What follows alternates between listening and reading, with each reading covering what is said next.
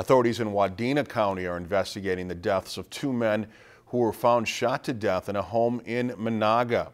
The Sheriff's Department says dispatchers received a 911 call to the home shortly after midnight Monday. The two men were pronounced dead at the scene.